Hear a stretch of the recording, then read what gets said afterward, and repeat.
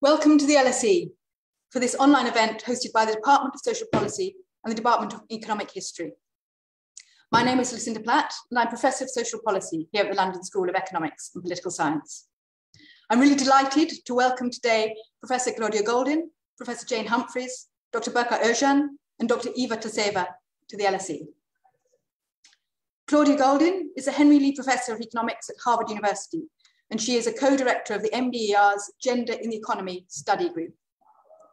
An economic historian and a labour economist, Claudia's research covers a wide range of topics, including the female labour force, the gender gap in earnings, income inequality, technological change, education and immigration. Jane Humphries is Centennial Professor of Economic History at the LSE and a Fellow of All Souls College, Oxford. Her research interests focus on labour markets, industrialisation, and the links between the family and the economy. Berkay Özcan is Associate Professor of Social Policy at the LSE. Berkay is a social demographer working at the intersection between family processes such as divorce, marriage, and fertility, and child and economic outcomes, savings, labour supply, and so on, to understand social stratification processes. And finally, Iva Tasseva is an LSE Fellow in the Department of Social Policy. Iva's research focuses on income inequality and poverty and the redistributive, redistributive effects of tax benefit policies within specific countries and in cross-country comparative perspective.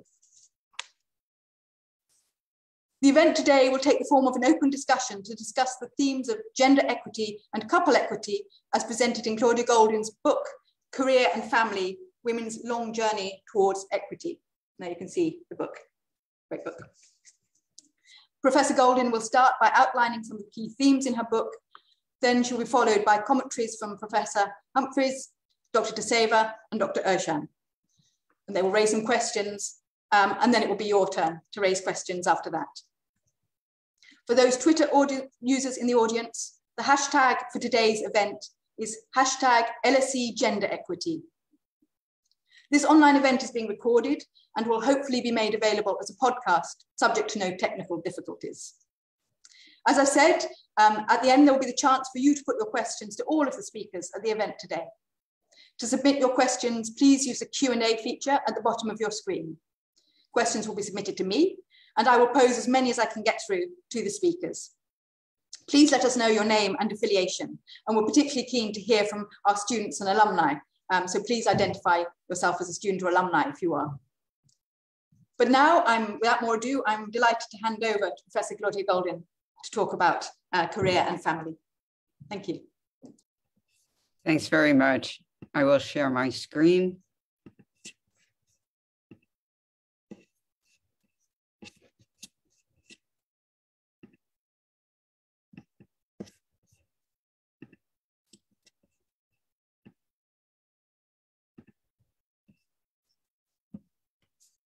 Just make certain that it goes, yeah, that's fine. So Lucinda, everything worked? Everything's fine? Okay. One always yes, to... please, please carry on. It's all looking good. Thank you very much. Thanks very much. So uh, thank you all for being here today. It's a special day in America. It's our Thanksgiving. And um, I am very, very pleased to be here with you to see so many friendly faces uh, on the panel.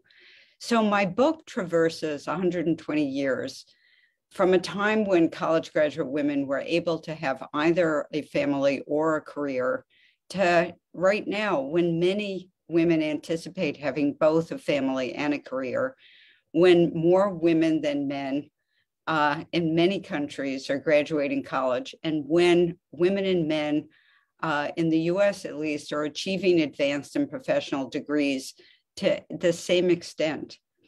But while there's great similarity in ambitions, there's somewhat less, unfortunately, in eventual achievements.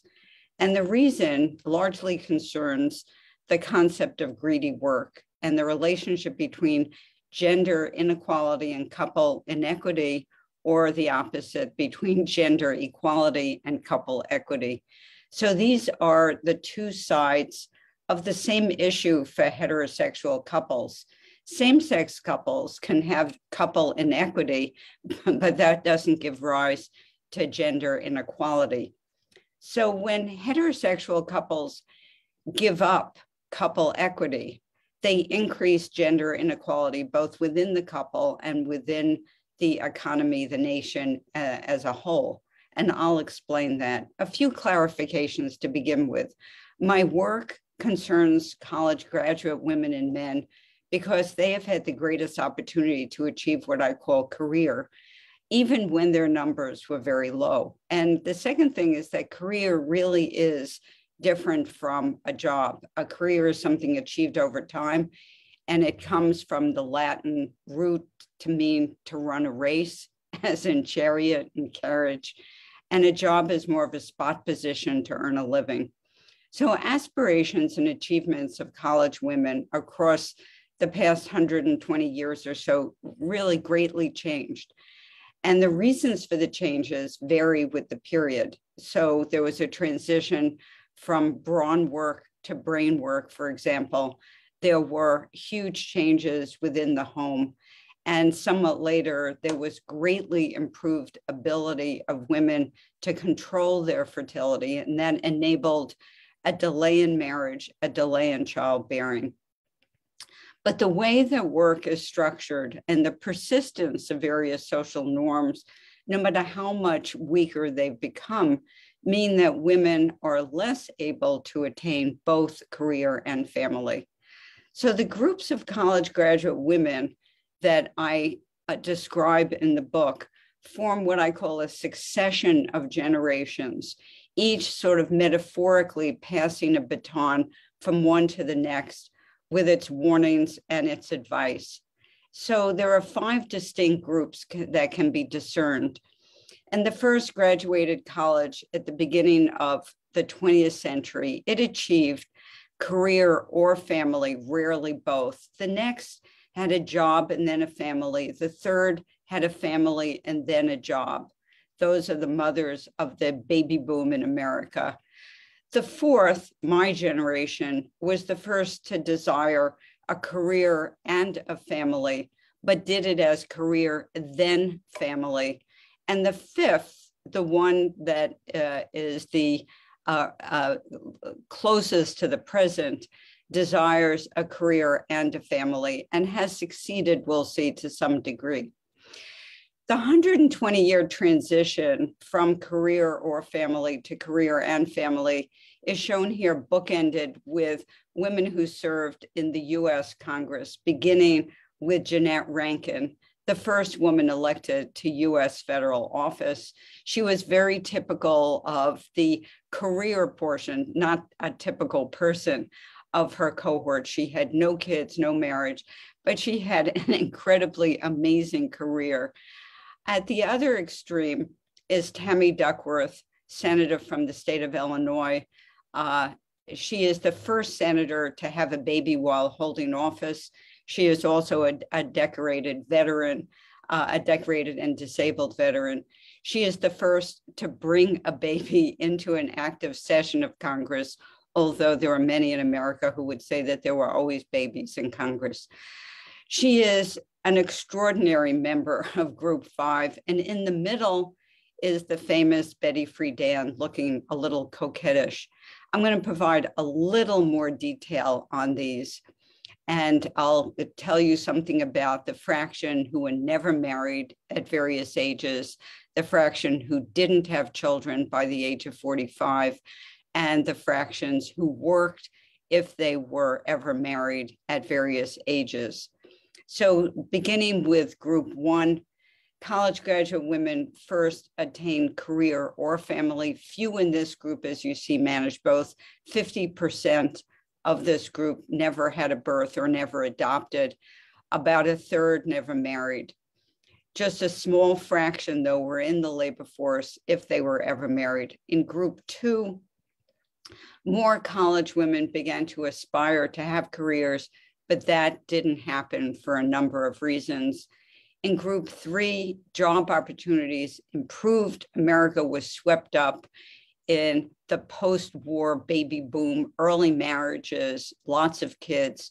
college women shifted to planning for family first, but then a job. Just 9% of this group never married. You can see the extraordinary change from the first group. And about 18% never had a birth or never adopted. Uh, of those who married, over 90% had kids. Their employment was low when they were young. It greatly increased to almost three quarters when the kids were older. This really was progressive change since they found a way to have a job and then a family, uh, to have a job and a family. The order was family and then job. For group four, career, then family became the goal for many. They delayed marriage and children for career. They had very high work rates when they were young. The pill and its dissemination to young single women enabled the delay of marriage and family and help boost their investments in career. But the biological clock ran out on many. As you can see, 27% never had kids, as this iconic Lichtenstein print reminds us for group five, having seen what group four did, their goal is have both. And in fact, they achieved some something better in the sense that 21% didn't have a kid by the time they were in their 40s. Marriage and family for group five are still being greatly, greatly delayed, but birth rates are actually up partly due to assisted reproductive technologies. Of course, there is also the fact that we've had a pandemic. And if we look at this group in the, uh, in the near future, we might see this going in the slightly other direction. You may be thinking that because of the large increase in college graduation rates, that most of these differences across these groups concerns selection into college. But the surprising finding is that selection really isn't that important. The elite changed along with the hoi polloi. Now, an important accompaniment to the transition across these groups as changes in customs and norms. Something called the General Social Survey has for some time asked respondents whether they believed, and the question has remained the same children would likely suffer if their mothers worked. And the answers here are graphed so that the horizontal axis is the respondent's birth year. The vertical axis is the fraction agreeing with that statement. And as can be seen, the agreement decreased for both men and women. Without any real new evidence about this, the response changed and fewer agreed with the notion that children would be harmed. The older norm, in fact, became more expensive to sustain as the earnings of women increased. But even though a succession of women has made progress on the journey to career and family, women's careers still often take a back seat to those of their spouses. Even among those in the latest group, I'll call that group five plus, graduating college in the early 2000s, we can track them to the time they're in their late 30s. 27% have achieved career and family by that time. That is way up from what it was in the earlier groups, but 45% of, equi- of equivalent men have. So that's about 60% of what men have done. The most recent group has expressed frustration and has placed the blame on many different things, such as discrimination, managerial bias, pay inequity, sexual harassment. And to measure their level of discontent, I've used counts of phrases about gender discrimination and sex discrimination in newspapers. And here are the counts based on the New York Times. So you can see that there are two waves. The first in the 1970s, and you can see that here uh, we see Betty Friedan in the noisy revolution of 50 years ago and the second more recently. But as each group progressed and passed the baton one to the next, and as actual barriers fell and social norms changed, the real underlying problem was revealed. There's no question that there's classic discrimination and bad actors and biased workers and lots of other bad things. But most of the difference in earnings and promotions and the ability to have career and family is due to something else. And the new problem with no name, to paraphrase Betty Friedan, is the notion of greedy work. Working more hours or particular hours leads to greater rewards, even on an hourly basis. In upper out jobs, more effort today produces perhaps, hopefully, the promotion later. But to have a family takes time, and it takes the time of at least one parent. There's no way to fully contract that out. And why would one want to do that? For a couple to share the joys equally is costly. So let me illustrate. We have two jobs here. The horizontal axis is number of hours, and the vertical axis is total earnings.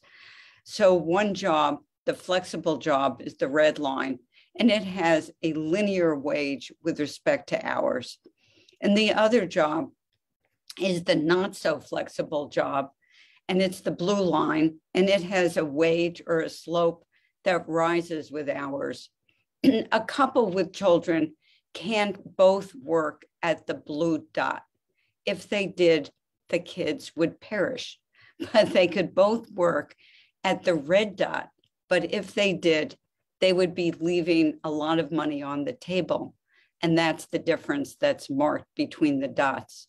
So one works the flexible job, the less remunerative red job, and the other works the blue job, the less flexible and more remunerative blue job.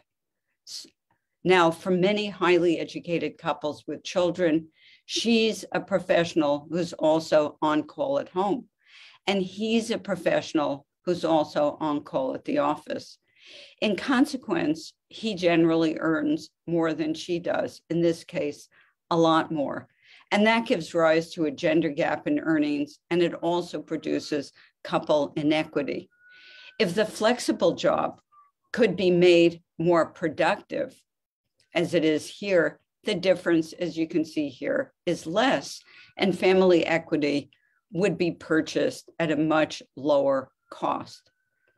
Note that even for same sex couples, there could still be couple inequity, but it wouldn't add to gender inequality. And even if the couple wanted a 50 50 relationship, high earnings for a position with the less controllable hours would entice them to specialize. Both would have jobs, but one would have the less remunerative, flexible position, and the other would have the higher paying, more demanding position. They might even both be considered to be careers. The point is that the gender gap in earnings is a symptom of career blockage. The cause of career blockage here is the high price of couple equity. So let me get into a couple of solutions and finish up. So, what are some solutions? Well, the first thing is getting the correct diagnosis to any problem is the first step. And I see three possible solutions. Two would involve changing relative prices, and one would try, although somewhat difficult, to shift preferences. The first would involve lowering the cost of flexibility, which is the amenity here. Another would involve reducing the cost of childcare and elder care. And the third would try to alter gender norms through possibly incentives.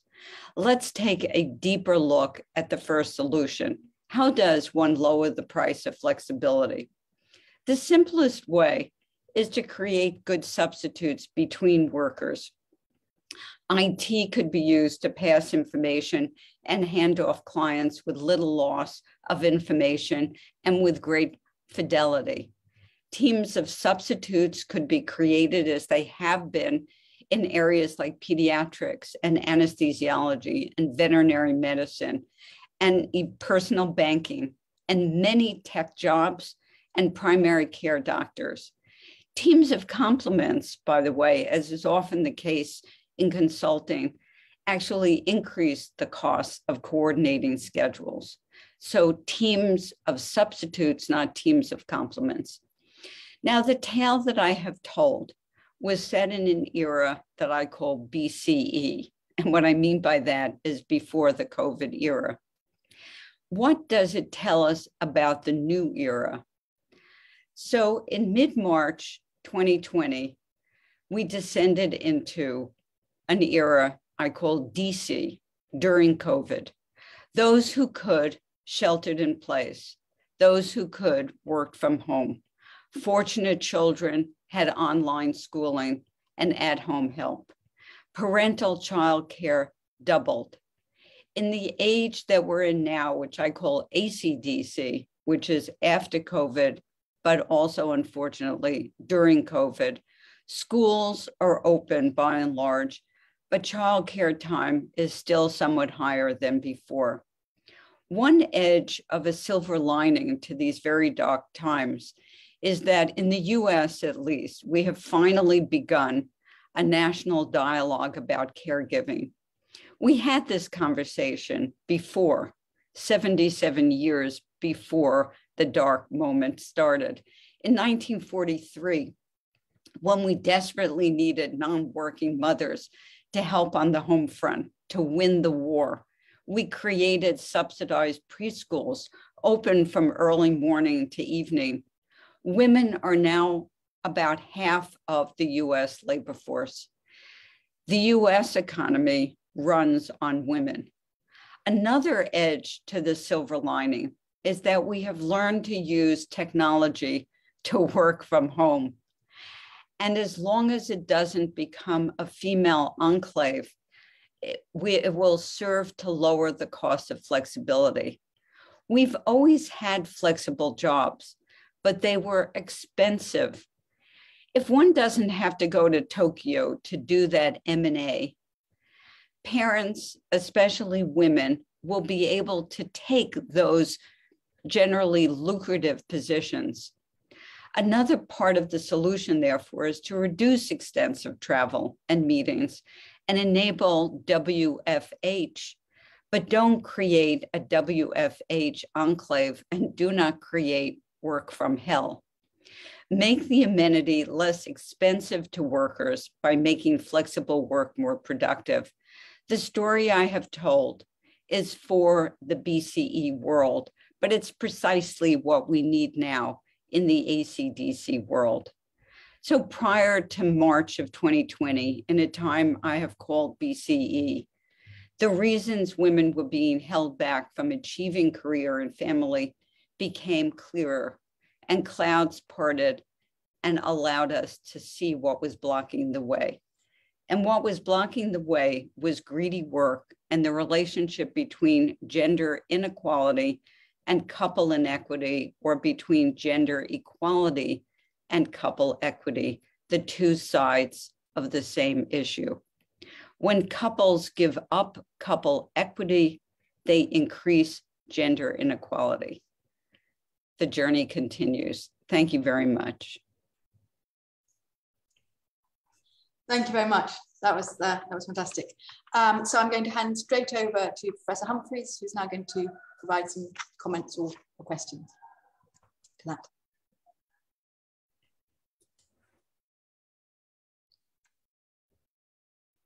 And is going to share her screen as well. I think we just get some slides now.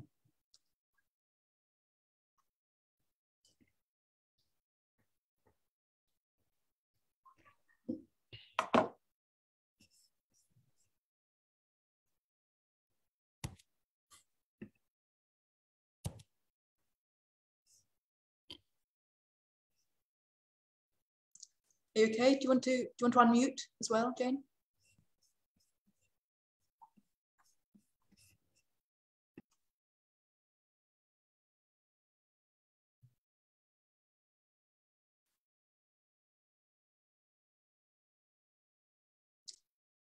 Sorry, you're still muted.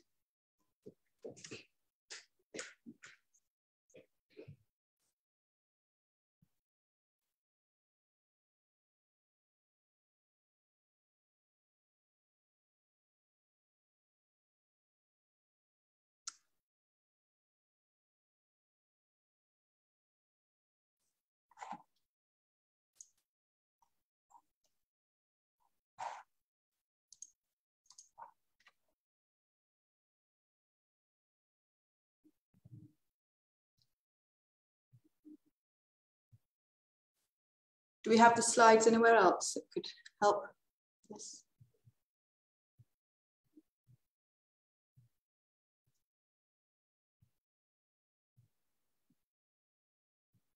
Um, can you hear me now? Hear you now. That's great. Yes. Yes. Um, can you see the slides? No. Oh. Hmm. Try again. We saw them perfectly before, so let's hope. That's that's that's it now. Yes. So I'm very sorry. This is taking some time. Um, so now it just needs to go into um, yes the from beginning. Um, no, I think can no, you hear, hear me? Because it's yes, that's great. Yes, if you can. Brilliant. That's perfect. Wonderful. We're there. So over to you now, Jane. Thanks very much. Very much. Well, it's it's an honour and a pleasure to comment on Claudia Goldin's fine book. Um, as an economic historian, I particularly welcome the historical framing of, of um, career and family, which takes us chronologically through the varying responses of cohorts of women to the difficulties faced in balancing the demands of work and family. I also enjoyed the way in which the different cohorts were represented by the real life stories of, of, of, of um, individual women. Um, though the book and its appendices clearly direct interested readers to um, the, the underlying studies that really base this book, many of which have done been done by Professor Goldin herself. Um, these stories got me thinking about the women that I knew and I, I had um, um, been taught by, um, looked up to, um, and how they had negotiated the, the difficulties of family and, and career, um, sometimes at great cost um, to themselves. I'm thinking here of Phyllis Deane, of very many other women that I have known professionally. Um, but most of all, I'm enthusiastic about the bringing together of family and labour markets to understand women's changing experience and ongoing inequalities, especially as the former, the family, is usually remains a black box um, detached from the labour market in economic analysis. And I think this is going to be my theme tonight. And so I'm going to actually talk less about the historical framing of the book than about its current implications. I could use my whole 10 minutes to praise this book, um, but as a commentator, I think my job is, is to press. And so I'm going to press on two particular issues. And the two issues that I'm, I'm um, concerned with here are um, First of all, causation, how we think about the causation of the gender pay gap, because I think that's actually quite important. And its importance, and by here I mean really its relevance, its relevance to all women. So I'm stepping beyond the college educated women that are the actual um, focus of um, Claudia's book. And the discussion of causation promotes issues around can we change the way we work? And I think the discussion of relevance poses issues about can we revalue caring? And I would argue that both these issues come up against um, the economics discipline itself and its market focus. And that will be um, really my the, the, direction my comments are going in. So um, causation and the gender pay gap. Well, of course, as social scientists, we all know the difficulties of making sure we never interpret associations as causes and identifying causal processes in the world of simultaneity and feedback effects is extremely difficult. Um, we used to rather blithely, rather um, indiscriminately rely on econometric analyses of the gender pay gap to identify causation. And I'm going to talk a little bit about that in a minute. Um, more recently, I think economists and economic historians have been backing off causal claims generally or um, really pursuing the nature of causality rather more carefully within econometrics.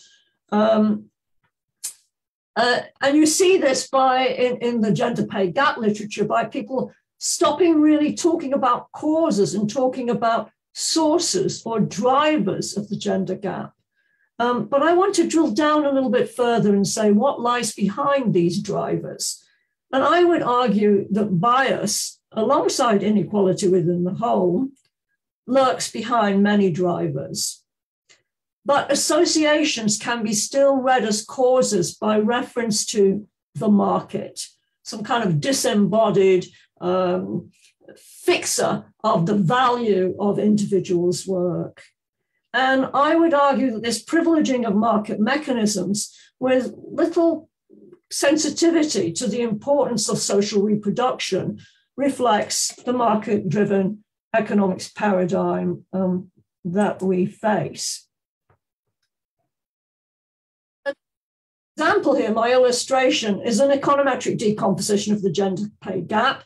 Um, I've chosen, a, it's representative of very many studies. It's a very recent study by Vanessa Gash and some co authors, um, uses uh, household level data, and um, it, it um, basically decomposes the gender pay gap using a kind of shift share analysis. So it, it finds out the, the general drivers or sources or causes of a gap by doing this statistical decomposition of what lies behind the differences in male and female pay. This is called a Oaxaca blinder decomposition.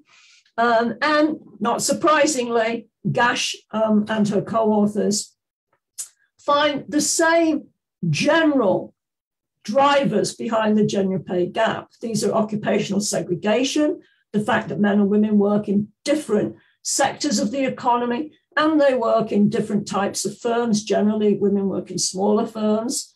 Um, they also find that um, the history of workers, the labor market attachment of male and female workers is different. And that too is associated with a large chunk of the gender pay gap. And the residual, um, we used to call it the unexplained residual, um, is really all that's left to um, be thought of as discrimination. And um, Claudia herself discusses some of these kinds of studies. Um, for instance, she, she looks at the effects of, of occupational segregation um, at, at call, calling these, these kinds of decompositions a kind of uh, a, um, a, a, mind exercise where you move people around um, virtually within your within your mind to to try and identify what effect it would have if women and men worked in in, in identical um, jobs jobs for example. So let me say first of all here then that the occupational segregation does is associated with a, a significant part of the gender pay gap. And this then is thought of as reflecting women's choices but as in fact the book really carefully points out, and there's many things go into women's choices.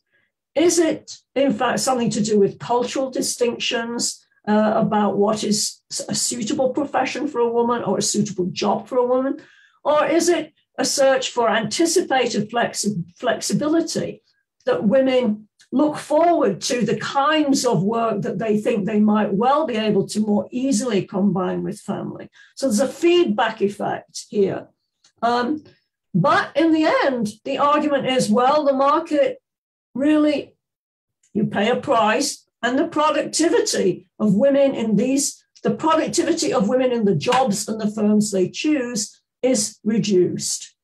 Um, but I would also suggest that perhaps there's scope here for thinking about the devaluation of women's work, um, the systematic cultural devaluation of women's work that might actually feed back into these market valuations that are not, in fact, um, completely removed from their cultural and social context.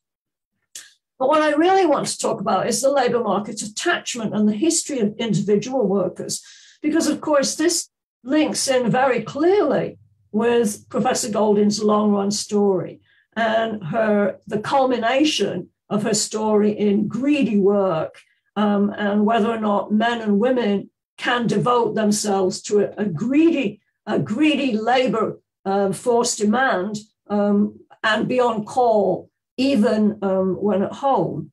So here the argument is that choices, again, greedy workforces couple specialization. It's a kind of choiceless choice um, that women face here. Um, and we also hear arguments that this is a return to experience. And furthermore, of course, that labor market history signals commitment. So these are un- factors that underlie productivity. And again, we're back at how the market values women's work.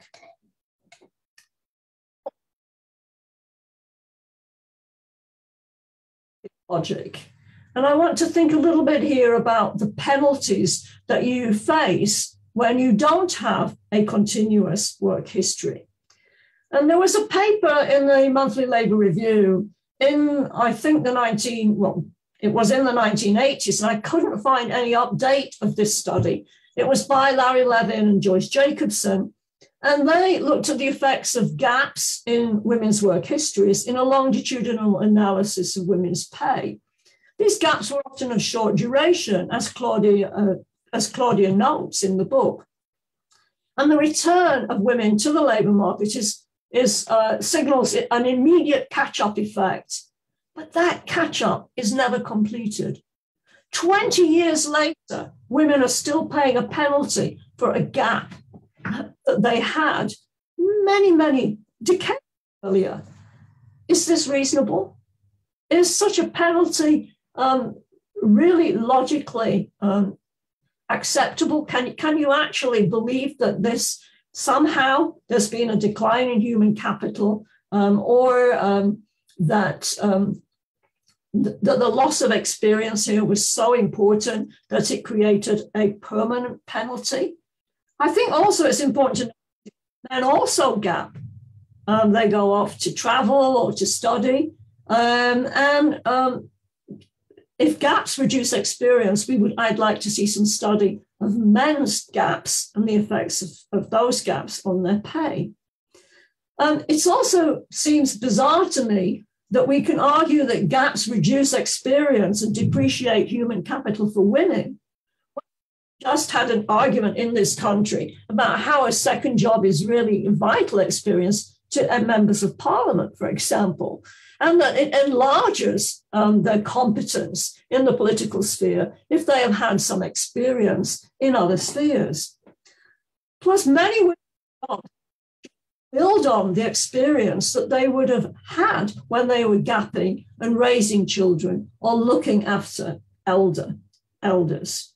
I haven't really got time to go into the resistance to greedy work, but I actually think that much of this much of these arguments really are a smokescreen. And I've been looking in job seekers' views here on this topic, and I've given you a quotation here from what one job seeker said about the response to their discontinuous work history. And essentially, they say it's just a smokescreen by employers. So moving on then from uh, this, this kind of argument, looking at the the um, the way economics looks at um, work histories, I want to now turn to the relevance or the importance of the gender pay gap. It's largest for high earners, we know that for college educated women, but that's because there's more scope if you earn at the top end of the distribution for there to be a gap between men and women. And college educated women represent a large and increasing proportion of the labor force. Uh, women now, in fact, are more than 50% of college graduates in this country. Um, the gender pay gap is of much less relevance to women in other segments of the labor market. Um, again, the GASH study, for instance, found that for poorer women, the gender pay gap was only 4%. Um, it was does this then mean that working poor have little to gain from gender equalization? Well, I would argue not. And I would uh, suggest that this leads us back into thinking about the importance of caring within the family, because the unpaid care work that falls on women perhaps disproportionately on poorer women, um, this is shared. This is something that brings college educated women and other women in the labor force. Um, it, they share this unpaid um, care uh, burden. But poorer women, in fact, face not greedy work, but what I call bulimic work. This is zero hours contracts, irregular shifts, uh, women in jobs where they can be called upon to work long hours at short notice. Um, and this then intensifies um, the nature of the care that they need. They need wraparound care, they need care to cover for their shift work, which is really impossible. Certainly impossible to get at the prices these women can pay um, in the United Kingdom. And many of these women, of course, have relied on informal care, typically provided by other family members, especially by grandparents. Um, according to Age UK in 2017, the unpaid caring work, mainly childcare, done by grandparents was worth 3.9 billion pounds per annum in the UK. Uh, sorry to interrupt you, but I'm aware a little aware of the time. So, yes, I, am almost finished. You're almost through. So, yeah. um, so, but valuing caring work, of course, also then raises questions with market valuations. So I'm arguing in, in conclusion that the pandemic shares out misery amongst women. It's give, widened the gender pay gap um, for all but the very highest earners. Um, women are more likely to lose their jobs, they're more likely to be put on furlough, um, they're more likely to be left struggling with care and education. All of this is well known. Uh, let me refer you to a special issue of Feminist Economics in, in, in the last year, a really good special issue edited by Naila Kabeer and Shahazad Razavi and um, Yana Rodgers. Um, the ONS urges us to think about these numbers in long run context, but given the way, and this is really uh, one of the important thrusts of Claudia's book, the way in which work histories pursue women and any evidence of prioritizing women counts against them, it's likely to cause lasting harm to women's careers. So we can search as, as much as we want for silver linings in the pandemic. We can say, well, it might accelerate flexibilization. But for many women, that just means bulimic work. A silver lining, too, might be working from home promotes more equal sharing. But the Institute of Education survey um, really provide difficult, um, ambiguous empirical evidence on that. And the silver lining also is that it might be that, that they, we ha- the pandemic has highlighted um, the importance of care. so, as, revaluing caring work, I'm inclined to, to quote Greta here it's blah, blah, blah. Feminist economists have been arguing for this for decades that we need to put more value into our caring labor. Um, and um, a care led recovery, as Himmelweit um, and De Henau point out in De Henau point out in the feminist economic special issue, could create more jobs than const- a construction led one. And B, um, probably uh, what we really need here is care to be seen as a big infrastructural inv- investment um, and to, to, to try and promote a care led recovery from the COVID pandemic. And that will be a, a, a useful legacy and a silver lining. Thank you. Thank you very much indeed. Lots of challenges there. I'm going to move straight on to um, Dr. Tasseva um, now to give her take um, on the book. So over to you. I think you also have some slides to share. Yeah, thanks very much. Uh, let me just, I get the message that I cannot share the screen. Let me try again. Yeah, now it should work. Yes, can see that. Yes, that's great. Great. Uh, thanks very much. I just have a few comments uh, on the book. I think some of these things already, uh, I think, came up in the discussion, so I'll just try and quickly note them. So the book Career and Family starts with this very big question why is there a gender pay gap? And this is a beautifully written book. It's also very uh, a very scholarly book. It's hugely impressive and it traces the history of career and family for college educated women in the US since the 1900s. And it identifies what still troubles women's careers today. It does this by relying on rigorous statistical analysis and on many different data sets to trace women's choices in terms of career, marriage, and childbearing. So the data uh, comes, comes, for example, from household surveys, women's biographies, uh, or testimonies. And uh, as Professor Goldin already mentioned, um, so the book identifies kind of two main causes. Um, the first kind of uh, key theme is about, I guess, gender discrimination and occupational segregation. And gender discrimination here is in this traditional um, sense, for example, women being paid less for doing the same work as men. And occupational segregation is this idea of women going into lower paid uh, occupations. But I think what may come as a surprise to some readers is that this is actually not um, um, the main cause for the gender pay gap. It's uh, the book convincingly argues it can only explain around a third, so two thirds are due to something else. So this is not the main theme of the book. The main theme is that the problems are much more complicated. Uh, and in particular, uh, the issue is uh, about job design and structure and uh, the role of greedy work. So these increasing returns to doing longer inflexible hours.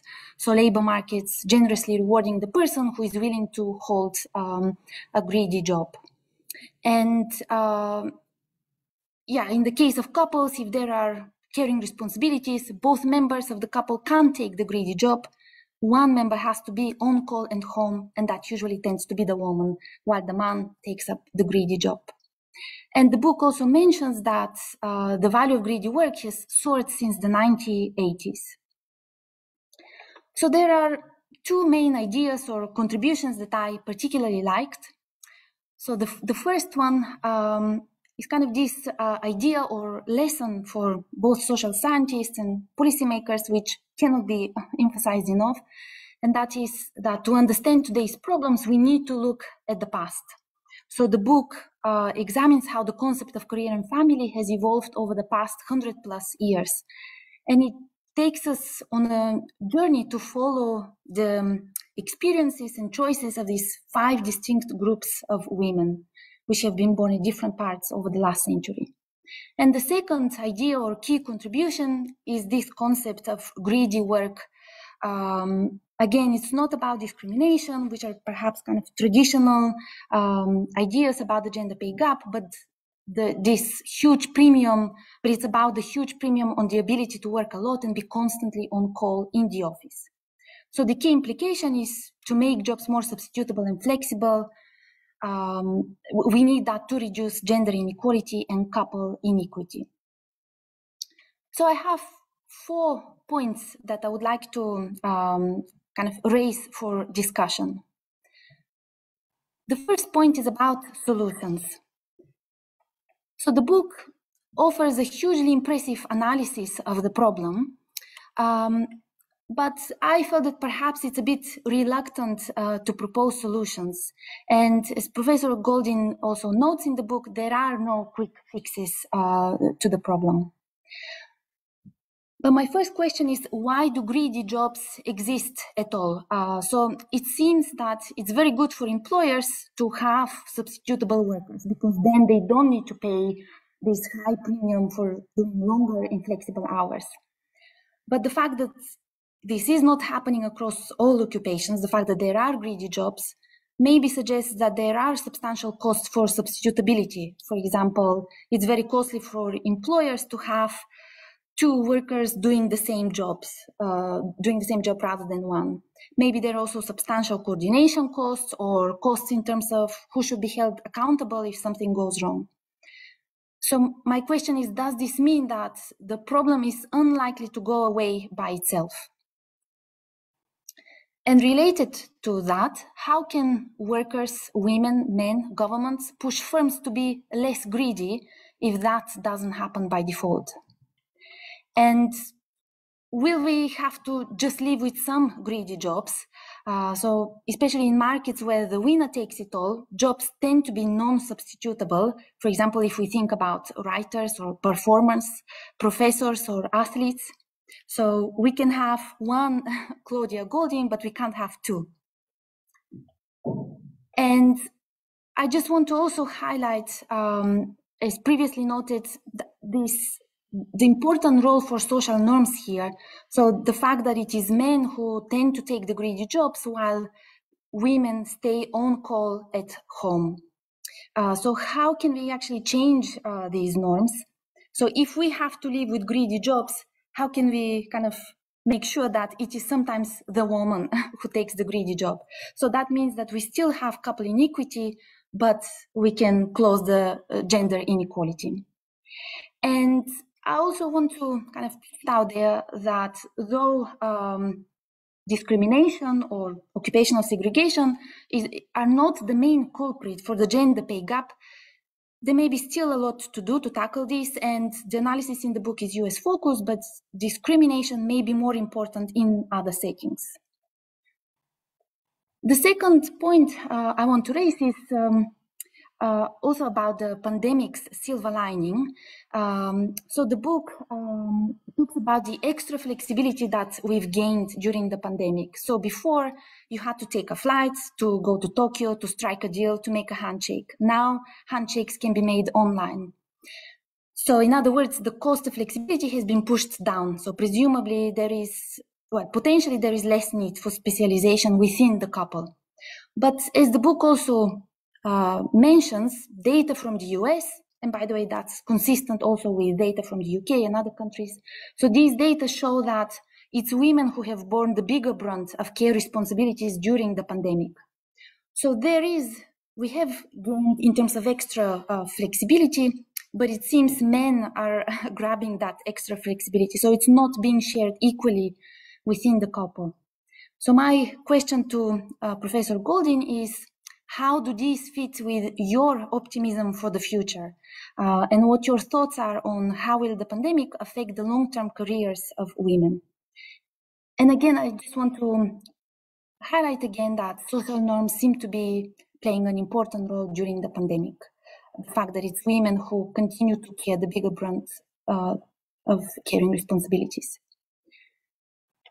the next point um, I want to raise is about trying to understand what has um, contributed to uh, the value of greedy jobs soaring since the 1980s.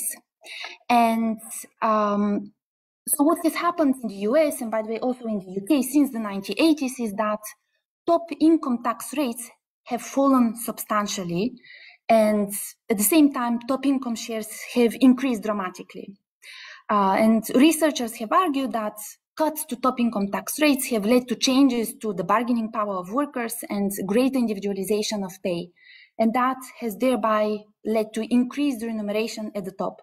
So my question is whether uh, these cuts to top income tax rates have contributed to the increase in the value of uh, greedy jobs. And potentially what are the policy implications of that.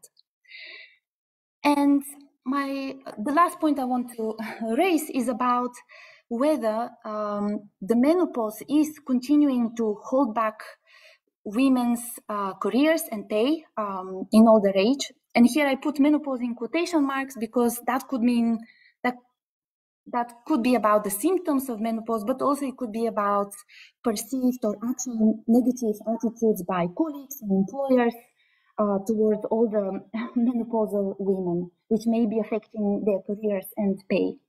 Um, and these are just two snapshots from recent articles in The Guardian. This one is about an ongoing study with the ambitious goal to uncover the impact of menopause on senior women in the city. Um, and perhaps it, it, this is a concern that employers, at least maybe in the UK, are kind of increasingly recognizing. Um, the LSE, for example, recently published a menopause toolkit with some guidance for managers, and one of the uh, guidelines, very fitting uh, with our discussions tonight, is to actually consider offering flexibility to affected uh, workers. So this is all. Thanks very much. Um, it was really a pleasure reading the book. Uh, I've learned a lot, and I definitely recommend everybody to read Career and Family. Thank you. Thank you very much. Great comments, and, uh, and yeah, again, lots of lots of questions and challenges there. Um, so now over to you, um, uh, Dr. Ozcan, and I don't think you do have any slides. No, I don't have any slides, and I apologize for not having any slides. I'm a bit starstruck here because Professor Goldin's work has been extremely influential on my dissertation and through my uh, through my career because I wrote, wrote a lot about the uh, female labor supply. And I'm trained as an economist, but then work in the family demography area. But, but are you speaking directly into the microphone? It's a little I am. So is it better here now if I speak or if I bring the camera? Yes. My microphone is in the camera. Is it better now? So I was just saying that it's a great honor and pleasure to discuss this book with um, by Professor Goldin, whose work has influenced my work a lot. So I'm a bit starstruck here, and my camera is not helping. so as a social demographer, um, I have um, what I have taken from this book is like I was fascinated by the three elements where demographers do care a lot about it. One of them is cohort change, which was very clearly uh, displayed in the book. And the second part is basically two things that demographers studied a lot, age at marriage, age at first birth, and their consequences on women's careers in general. So the big part of the book is could be summarized along these dimensions, and the rest of the book is about uh, flexible careers and greedy jobs and labor demand. There were two axes to discuss about the issues of work on work-life balance, which was one side is basically that we have studied in the economics for a long time about the factors that are affecting labor supply and the greedy work framework um, makes us look more closer to the labor demand side and see what makes the jobs actually um, more greedy versus the others. But when we think about the demand side factors, there are a lot of other demand side factors. Technological change has been very much studied by the economists. And, and but in addition to the technological change, one of the aspects of the technological change is automation. And that is another undergoing development in the last uh, second half of the last decades, uh, in addition to COVID uh, which has like mixed effects on the women's um, demand for like women's labor demand. And um, so there's this end part of the book that talks about policy, policies and solutions, which I like quite a lot. And uh, the book is extremely rich in its um, providing examples, biographical information, and as well as quite nuanced in discussing the new literature that is looking at the college-educated women's interruptions and first birth and, and, and combines a number of um, policy relevant issues about the parental uh, leave, uh, father quotas and everything about the policy solutions too. So I enjoyed overall the book a lot and I recommend everyone uh, who's not familiar with um, Professor Goldin's work. It's a very, very nice overview of her work and then the general uh, literature in the field. Uh, one, like I have a like three major points to make about the um, books that I was, as a reader, uh, interested to learn more about it. One of them is a, is a very clear, explicit focus and well-justified focus on the college-educated women. Um, and uh, Professor Goldin makes the case very clearly about the selection into college education does not drive these cohort changes that we see. And it's actually, when we look at the sample of women who are in the elite colleges like Radcliffe and so on, uh, the, the selection um, is not the the, the explanation, the preferences are quite constant. But we know that the preferences on the college education group that are non-elite, and when the heterogeneity in that group increases over time, might have driven the effect. And then that is kind of confirmed with the anecdotal, anecdotal evidence that the professor provides in the book about her own mother has changed their preferences or norms about the uh, whether childcare should be um, done by the mother or the or, or the formal childcare. So I was a bit more interested in that part of the discussion because as a social demographer that we know that there's also a change in the norm around the childcare. Childcare language has changed and then people talk more about child investments and parental investments rather than just the care part of the uh, duty.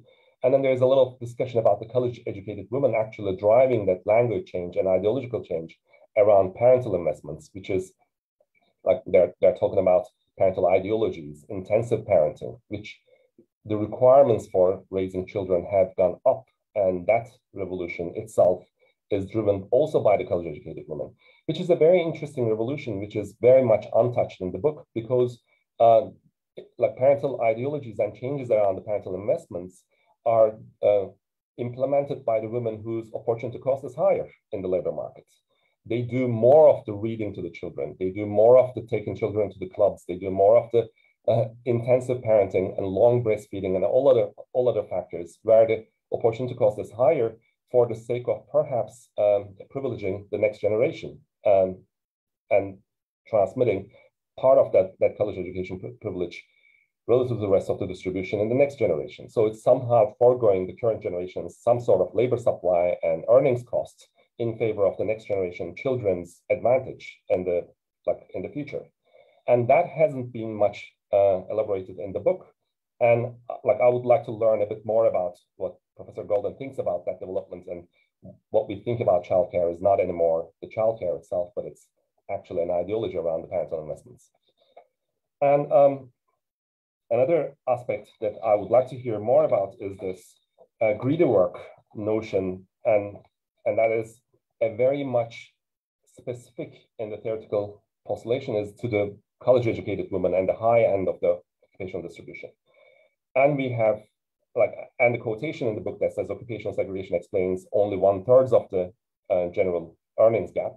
But the occupational segregation's weight in the earnings gap is higher in the non-college education group, perhaps, right? So um, is so we we may we may we may think about occupational segregation as a decomposition, and the overall earn, like earnings gap might be still small, but in the among the non-college education group, the occupational segregation still carries a higher weight, uh, more than 50% in the recent estimations uh, that explains the differences in the in the earning gap in the rest of the group. So should we really think uh, less about occupational segregation and uh, think more about the uh, greedy work? And this brings me to the third factor, which is about self-employment. I'm fascinated by Professor Goldin's self-employment papers. I've read original papers and, and the and the um, with Professor Katz and on the uh, on the MBA uh, workers and as well as the pharmacists. I was particularly interested in self-employment myself, so there's this notion around the self-employment, which is uh, argued by a number of economists that they say it's one of the forms of work that women uses to ensure work and family life balances. This is not the case, of course, when you look at the credentialed self-employed, which are MBA owners or pharmacists and so on, that requires licensing and credentials, which require also long like education trajectories um, before they become self-employed. But for the rest of the self-employed population, uh, like we see on average, they have higher number of children, almost in most, most advanced economies, than the equivalent wage employees. And even in the book, I was quite puzzled and surprised to see that professional self-employed women, uh, like the surgeons was the example, end up on average having more children than their comparable uh, wage employees. And the explanation is because they have higher income to start with, that they could afford childcare and other, other things. And one of the reasons why people become self-employed to have control over their income resources, as we know from the literature, but also um, for alternative mobility patterns. And um, although self-employment has been at the same time portrayed in European literatures as one form of unstable, uncertain job category. So like it's when, when we discuss why low slow fertility has been observed a lot in the in Europe, especially in Southern Europe. One of the explanations have been coming from the macro studies is that like self-employment rates, unemployment rates, and they were all pulled together to, to say that like income uncertainty and labor market uncertainty has been increasing dramatically to, to then generate uh, very low fertility rates in Europe, and, and which was um, self-employment in that case was portrayed as an insecure form of employment, and that was uh, the, the, the, dimension of the occupations, which is not discussed in the book, the, the insecurity and uncertainty part of the part of the labor market. Finally, um, coming back to the um, occupational segregation or field segregation, um, like one of the questions that I was burning to ask uh, Professor Goldin, because I studied economics under my undergraduate and then my master's as well, and I'm, I'm trained as an economist, then became a demographer. And when I was studying economics, um, studying gender within economics was quite an unusual thing that there was no one studying, and then the only literature was produced like was a handful of leading scholars, including yourself, Professor Goldin. So I was very much uh, fascinated by that work. But uh, you've been studying successfully women uh, within the field of economics discipline, which the discipline itself is coming to terms with its own inclusion problems these days in the as an economics um, science where academic economics is, is sufficiently inclusive to women or not. And um, during the self-inspection, I was uh, like wanting, wanting to ask whether you faced any difficulty yourself in your career studying women within the discipline of economics rather than, say, studying trade or macro or, or finance. Uh, I was wondering about that because within the economics of discipline, there is also a field segregation. And I was wondering whether it has any knock-on effect on the gender gap within the discipline of economics, and whether we should care about that. So uh, here I finish my questions, and I really appreciate for getting this chance to ask my questions here, and I'm very honored to read the book. And thank you so much. Thank you. So, um, so yet, yet more questions. I want to. There are a lot of people who want to ask um, questions from the audience. So I'm uh, going to let them have their time, and then maybe we'll get five minutes at the end where you might get the chance to pick up on some of these points as well, Claudia, if, that, if we can do it that way. So um, there are already quite a lot of questions in the um, uh, in the Q&A. So I'm just going to um, uh, take them in, in order and try and get through as many as possible. So it'd be great if you could keep your responses um, uh, relatively short. People have been asked to um, identify who they're for, but um, not all of um, not all of them have done so. So I'll start with them. Uh, first one in front of me is uh, Debbie Fan, who is an um, LSE master student at LSE Department of Economic History. Um, and Debbie's asking, historically and culturally and currently in the US, there were or are institutional factors other than the cost of flexible jobs that induce gender inequality, such as anti-abortion laws or the failure of ERA. How do we view the relationship between the cost of flexibility and what else can we do to remove the institutional barriers to gender equality? So I think that's for you. Yeah, it's a big question. Thanks a lot. Um, uh, as I said at the end of my talk, the clouds have parted and now we can see the big issue. So, uh, so one can sort of look back in history and see an, barriers that were real walls, not just little hurdles. And those get reduced, and then we can see uh, what is really the major barrier today. That isn't to say that there isn't, you know, uh, bias and, and discrimination still sitting around or sexual harassment, which we know is still sitting around but they're far less than barriers such as marriage bars or anti-nepotism bars or things like that. So thanks very much, Debbie. So I'll move straight on to the next question, um, which uh, comes from uh, Patrick Wallace in the Department of Economic History. Um, so he um, says, thank you for a fascinating analysis um, and I wondered if this sequence has developed differently at all in social groups or countries where the family structure is more extended and less and nuclear. Um, so who would like to take that? Do you, do you, want to, do you want to start, Claudia, and then maybe other people can if they've got anything to add? Well, it, I, I think it depends upon whether Patrick's question is within the realm that I'm looking at or whether we're looking at economies in which uh, are making a move out of agriculture, whether we're looking at economies today or economies in the past, it's it's sort of uh, quite open. Uh, but I, I think that the that the heart of the question is really about whether uh, grandparents step into the the picture, and by and large, if you're living with your in-laws the what you gain by them stepping into the picture is what you lose by the fact that you're the person who's also cleaning the house and working there. And we're also then thinking about a level of economic development which is very different from the level that each of us has talked about in our in our comments i see jane would like to jump in Well, I, just wanted to emphasize that, that grandparent care, even if you don't share a household, has really been very significant in European countries um, in, in uh, just before COVID, in your group five before COVID. And I think grandparents have played a key role in enabling women to have careers and families.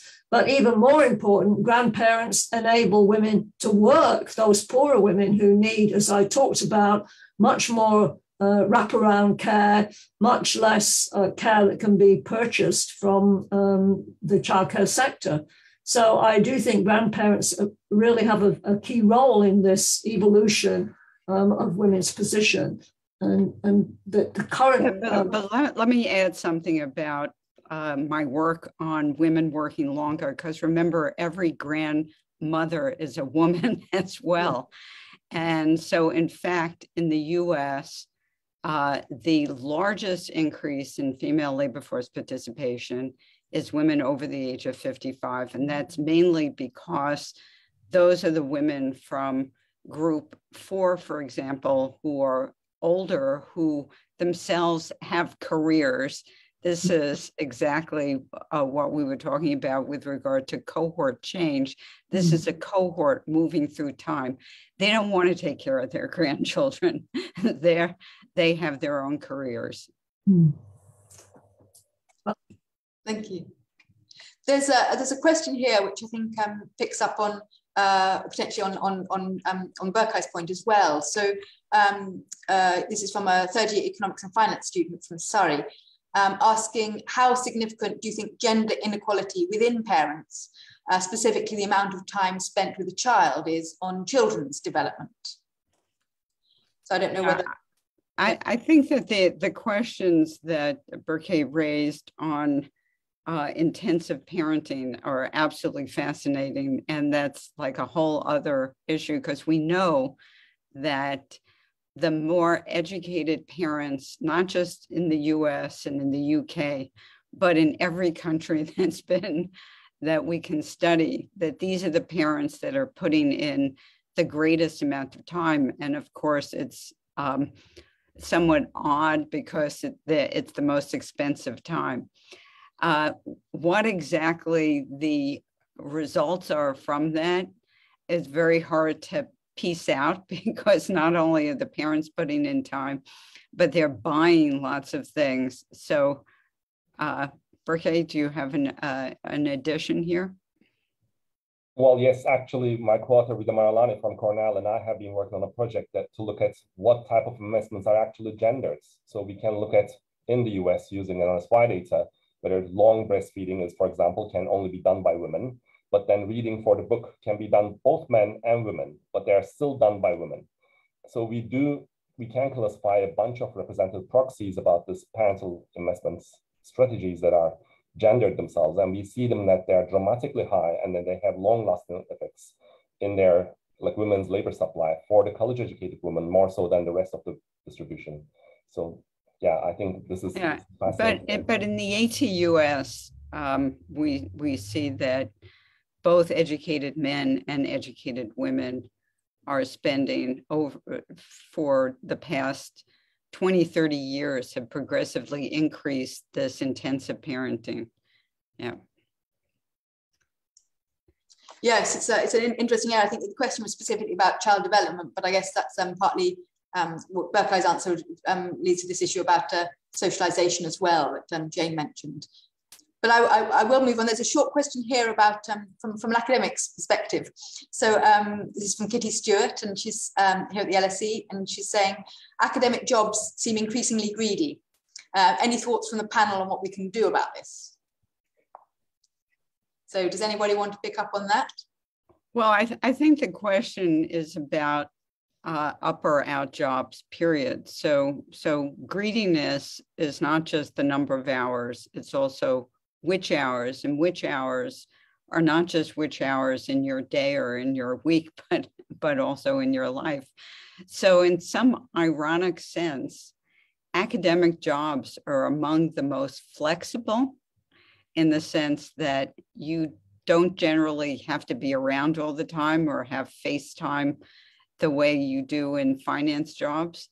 And yet they're also extremely greedy in the sense that they're pulling at the hours at the start of your career. And that start of your career is now later and later. So it bumps up to uh, the biological clock issues. Whether or not anyone on the panel wants to call for the end of tenure, you know, we in the US have, uh, have a very strict, strong tenure progression. Uh, and also there's making partner in firms. And, and by the way, there's a wonderful piece out of Sweden that shows that first promotion matters a tremendous amount, even in the absence of formal partnerships and tenure. So, um, so I think that that is um, a, a, a real issue. I'm not, I'm not certain how to get around it. Anyone want to get rid of tenure?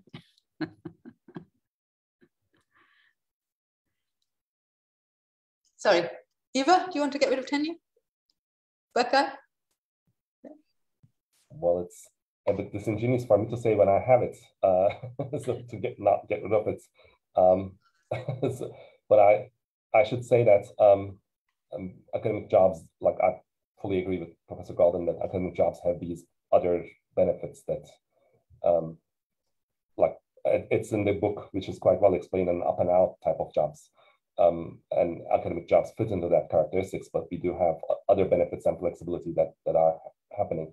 One thing that I have, I can say from my short exposure is this is not a new phenomenon that they are getting increasingly greedy. They are getting greedy in different ways but they have been always greedy for the last at least 30, 40 years in general as uh, like as, as much as we can see because another interesting point and there's a great paper on this is that at least american universities and colleges went whole hog in having gender equity and so if female faculty got time off. Male faculty got time off, and surprise, surprise, the guys published papers and the women took care of the babies.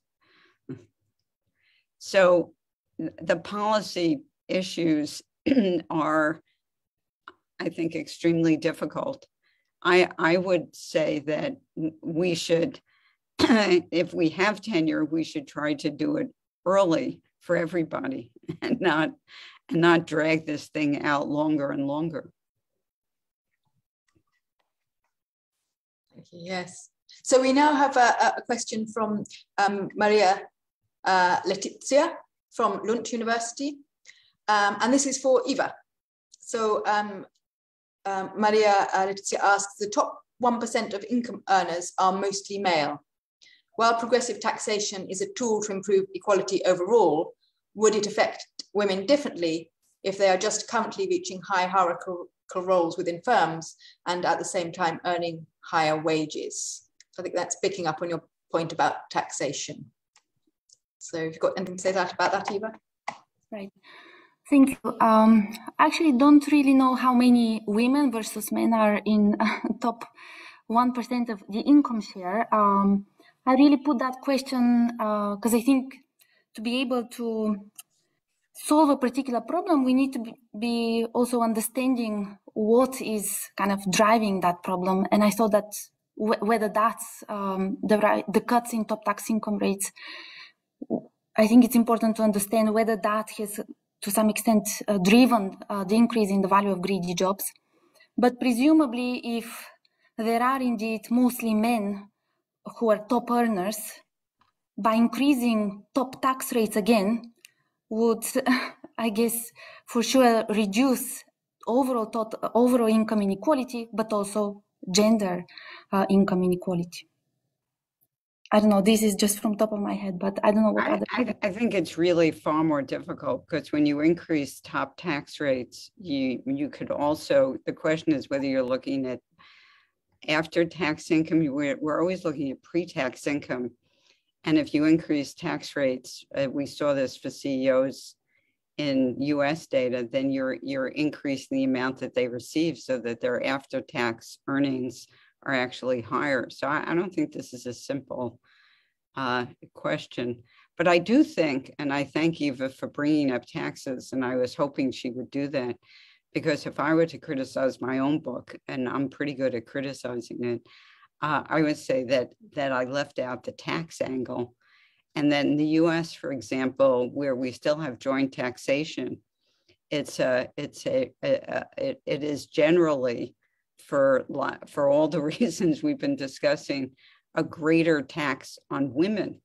So, so therefore, we, we not only have joint taxation, but we don't have generous uh, child uh, care in terms of subsidies. And so therefore, the marginal hour for a woman to work, she's getting taxed at the marginal rate. And then then she's the family is paying for the care of the kids. So it's in fact leading to a reduction in the uh, number of hours the uh, in the intensive margin or the extensive margin in terms of participation. So taxes are, are extremely important and uh, if I rewrote the book, I would I would add something on the fiscal policy side. So can I tag along one quick question about the taxes here? So the joint taxation has also implications about who marries and who's stay cohabiting among the higher income earners. Is that correct? Uh, I remember one interview with two economists, Justin Wolfers and Betsey Stevenson. They were talking about not being married because of the tax policy reasons in one of the interviews. And so because the book gives a lot of emphasis on uh, marriage as well in the United States, who gets married.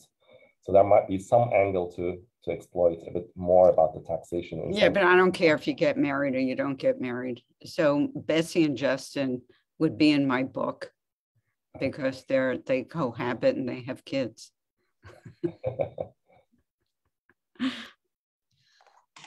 so the next question, um, it's I'm not quite sure who is the best one for, um, for because um, obviously you were talking about having having children and career.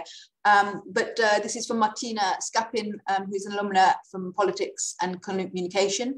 And um, Martina was curious to know how the declining birth rate in Western countries could contribute to a more equitable workplace for women as governments for women as governments try to not very successfully encourage reproduction. Um, she adds, childcare remains extremely expensive in most countries. Um, I wonder why so many governments fail to tackle this very point uh, when it seems that this would make the biggest difference to women being able to continue their career without setbacks.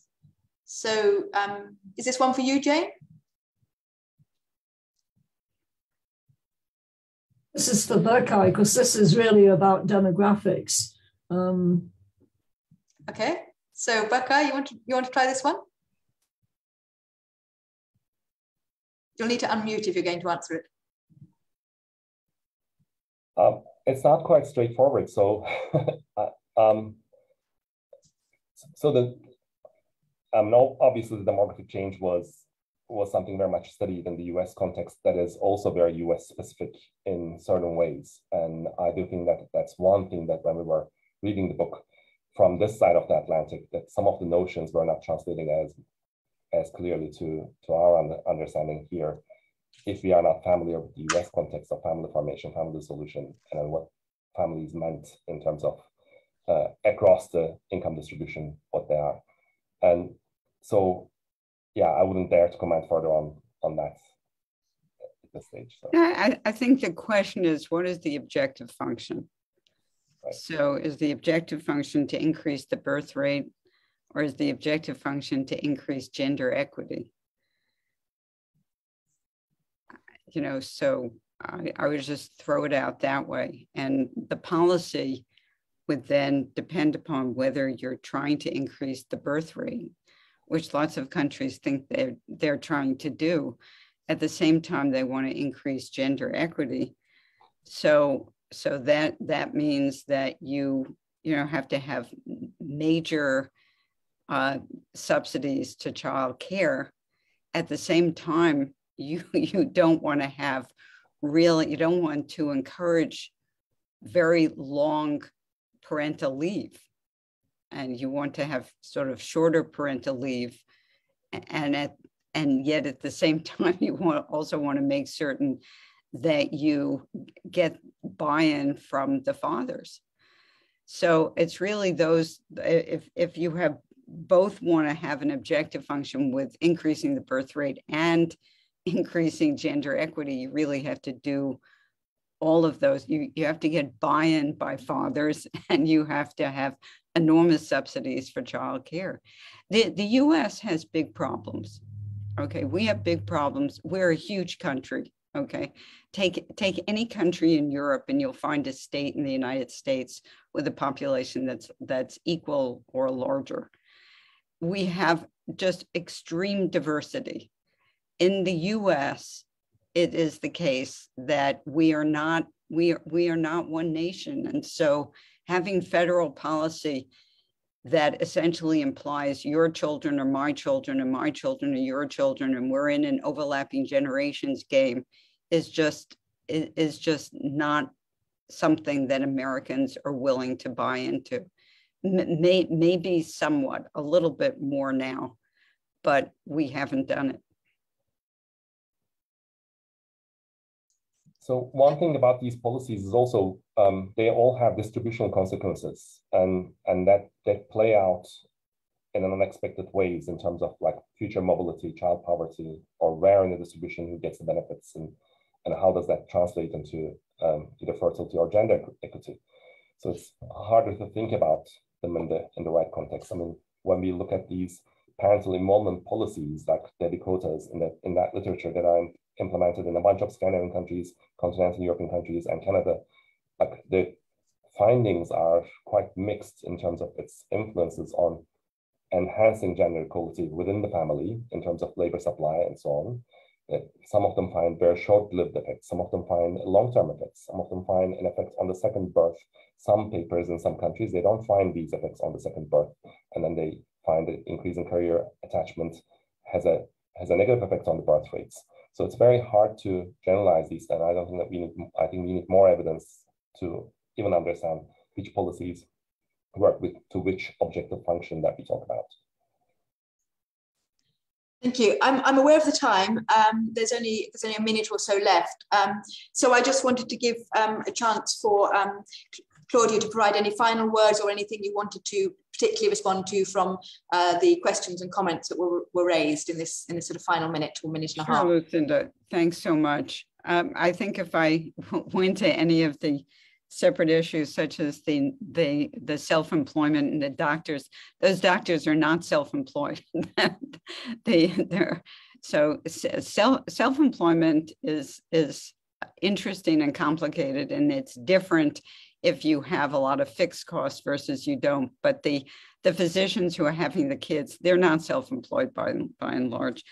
But eh, so if I went into all the different issues, such as the fact that the MBA study actually does show that when men take off the same amount of time as women do, yes, yes, Jane, they have, they also, uh, it's also detrimental for them to about the same degree.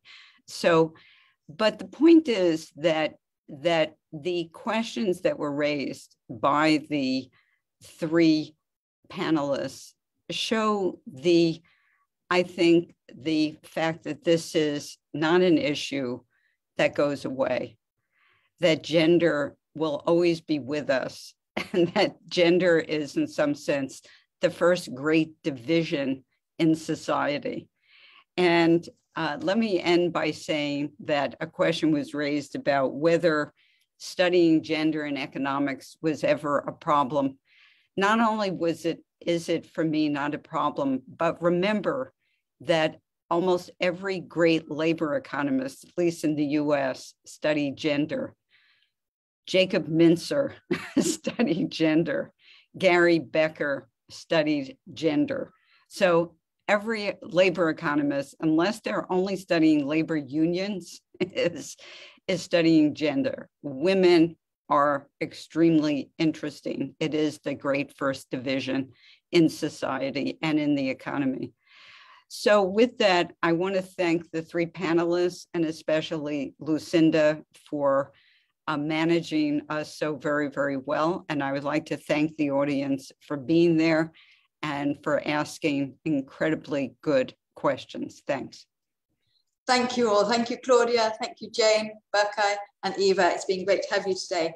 And thank you all again to the audience.